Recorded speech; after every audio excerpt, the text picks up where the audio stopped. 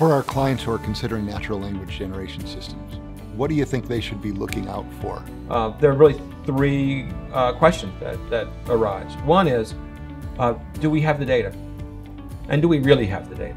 That is, uh, um, uh, is the data available in a systemic way so that we could generate from it? Um, the second question is, do we know what story we, we want to tell? Do we know what we want to report on and what we want to explain to people? And, uh, and does that story actually relate to the data? And the third is, uh, what are we going to get from it? So for for us, for some clients, they get uh, intense reliability. Um, uh, they get quality. Uh, they get speed, and they get scale.